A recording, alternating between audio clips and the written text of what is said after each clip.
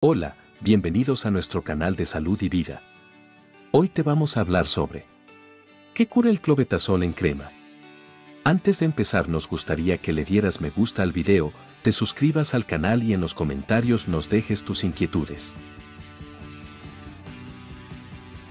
El clobetasol se usa por vía tópica para tratar 1. El enrojecimiento 2. La sequedad 3. La picazón 4. La formación de costras.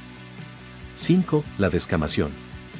6. La inflamación y el malestar causado por diferentes afecciones de la piel.